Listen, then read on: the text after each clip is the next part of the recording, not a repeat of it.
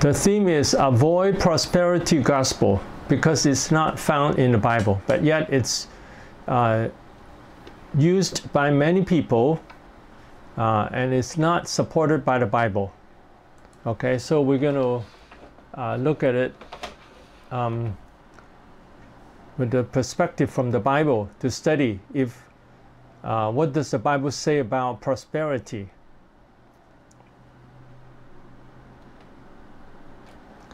Okay, now prosperity theology, sometimes referred to as prosperity gospel and also called health and wealth gospel, the gospel of success or seed faith, um, is a religious belief among some Protestant Christians that financial blessings and physical well being are always the will of God for them and that faith, positive speech, and donation to religious causes will increase one's material wealth. Okay, so uh, what it says that is that uh, it's it's always the will of God to bless people financially and physically. That is what they teach, and they believe that faith and positive speech, faith that they have strong faith that they, you know, very often they would pray for someone and they say, You are healed, even uh, though the person doesn't feel being healed. And then they would say, You just believe that you are healed, and then you, you'll be healed. And some people keep believing, and yet it hasn't come true. So they say that we, if you have faith, then you'll be healed. And positive speech they always say that um, always say positive thing. Now we also teach people to say positive thing, but what they mean is don't name your problems. For instance, if a person has cancer, don't say that you have cancer. Say that you are healed. You don't have cancer. So basically, it's denial. They always say, I don't have a problem.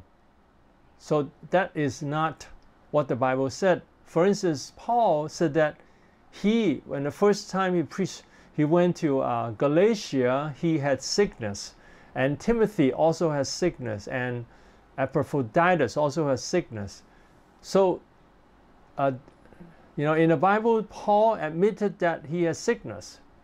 And in different parts of the Bible, it admits that, say that people have sickness. So, uh, admitting our problem doesn't mean it's negative, but they mean what. But when they, uh, what they mean is that if you have sickness and you admit it, then it's negative. So they say always be positive, always never. They say never admit that you have any problem. Uh, always say you don't have the problem. God has already healed you. And also donation to religious causes will increase one's material wealth. And very often they'll say, okay, you donate a large sum of money, 1,000 US dollars, and then you get many times back. If you are in debt, you want money back. You want money that you need, then you, uh, uh, you uh, give the seed money. They say it's like the seed. Uh, you sow the seed, it will grow out, you know, uh, 100 times, 60 times, 30 times now, in that parable of Jesus, he's talking about the Word of God. The Word of God is planted in the heart of people, not money. But they use it to mean money. When you have uh, given offering of a certain amount of money, then you get many times the money back.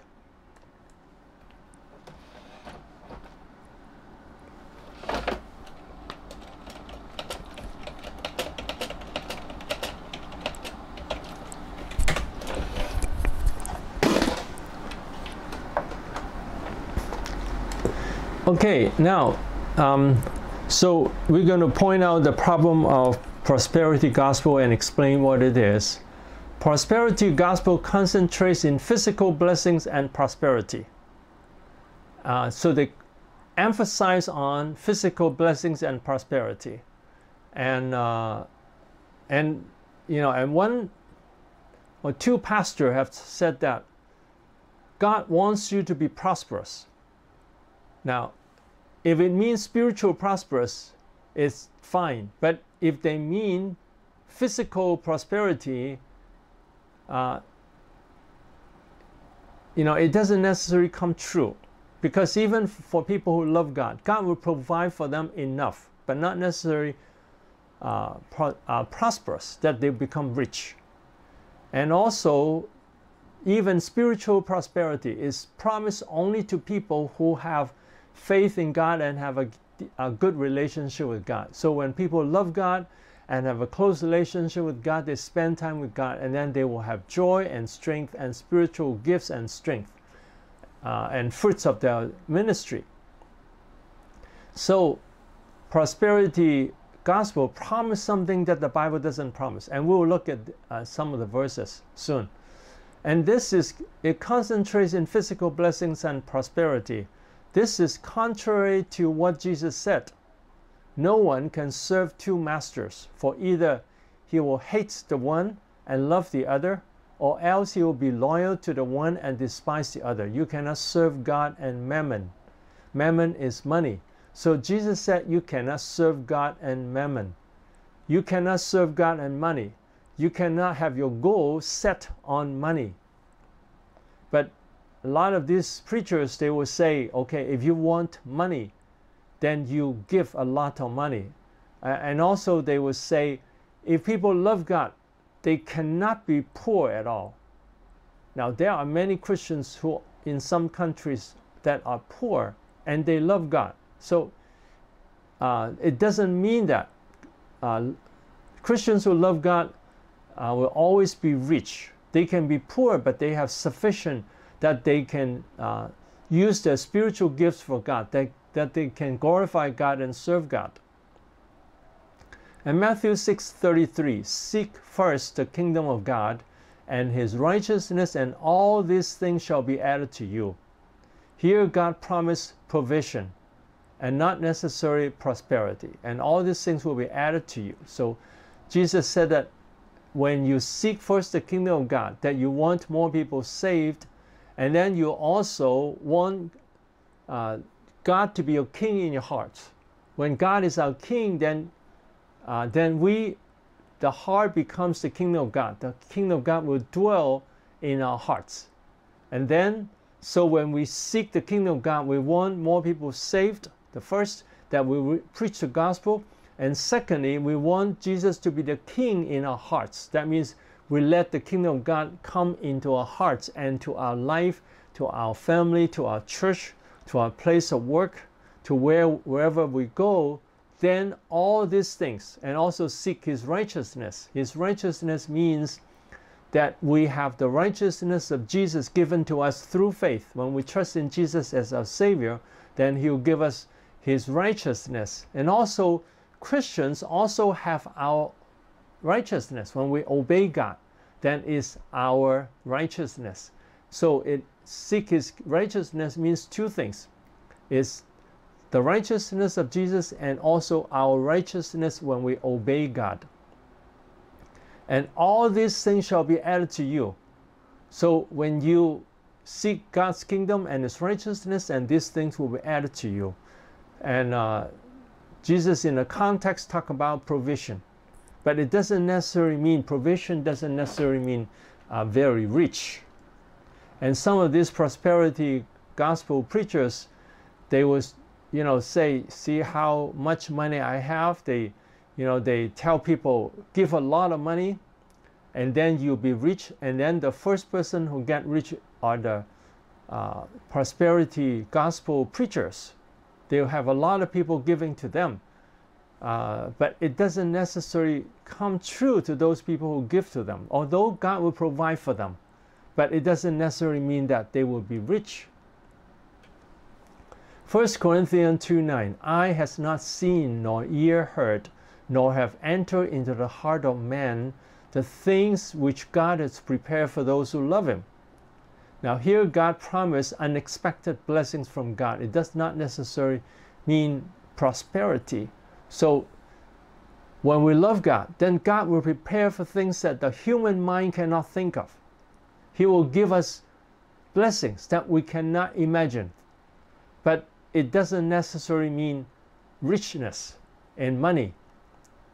And then John 10:10, 10, 10, I have come that you may have life and that they may have it more abundantly. Jesus wants us to have abundant life, not necessarily physical prosperous life.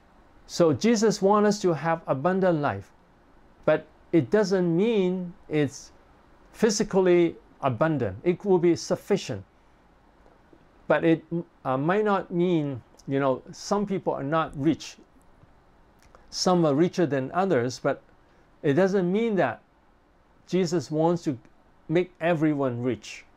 Jesus wants everyone to have abundant life. But this abundant life only comes to people when people love God and have a close relationship with God and obey Him and serve Him. So when people love God and have a close relationship with Him, then they'll have joy and strength and spiritual gifts and opportunities to use their spiritual gifts to serve God. And then God will reward them. So this abundant life, firstly, it means spiritual blessings, and it can it also mean provision. But provision is that so he has enough to uh, serve God that he has enough provision to serve God.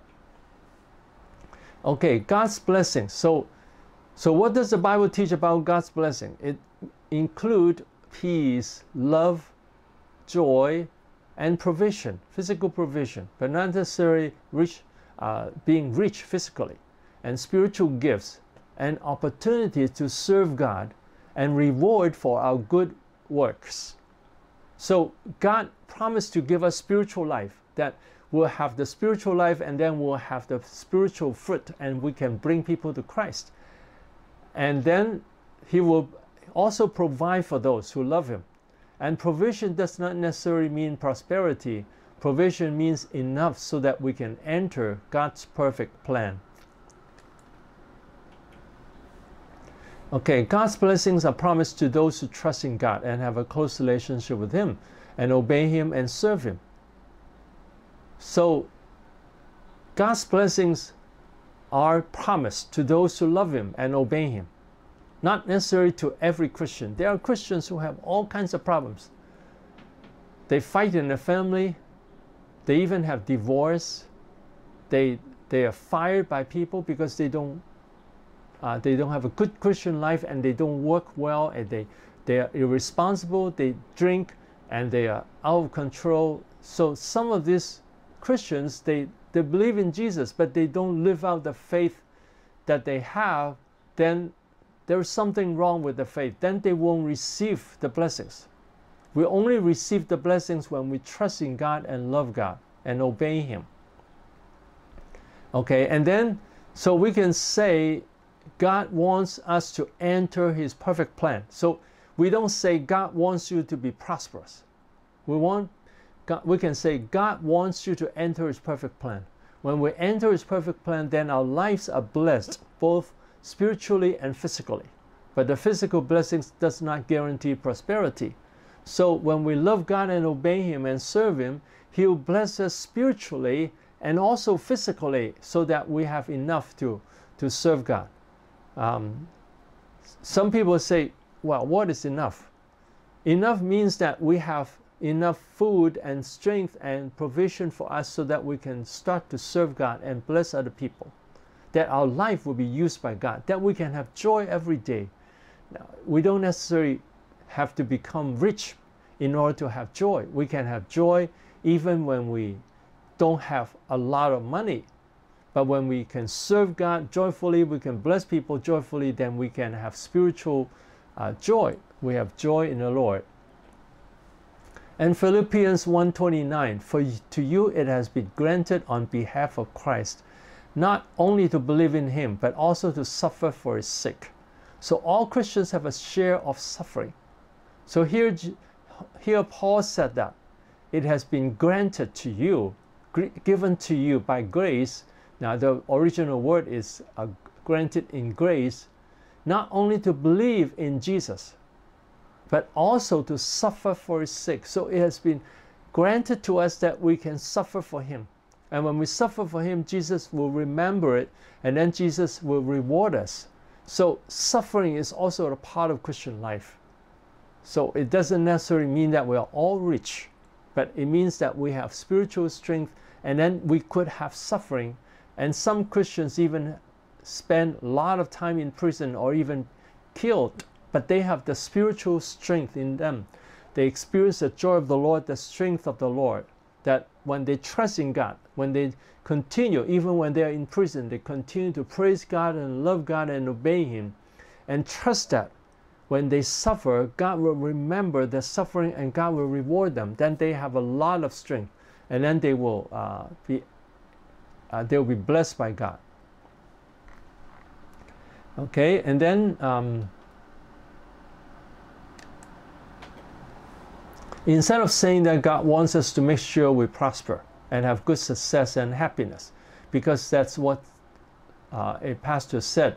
He said that God wants to make sure we prosper and have good success and happiness. That is not true. God doesn't want to, to make sure that everyone have good success and happiness. Uh, God only wants to provide for us, for those who love Him. Okay, those who don't love Him, doesn't God doesn't want to give prosperity to them. God doesn't want to give good success to them. So actually you read in the Bible, the Bible doesn't tell us to pursue prosperity. So we should not use the word pros prosperous. Uh, we should not say God wants you to be prosperous, unless we mean spiritual pros prosperity. You know, God wants you to have abundant life. That is a biblical word that God wants you to have, uh, have abundant life in Christ and, and you also have abundance so that you can give to other people.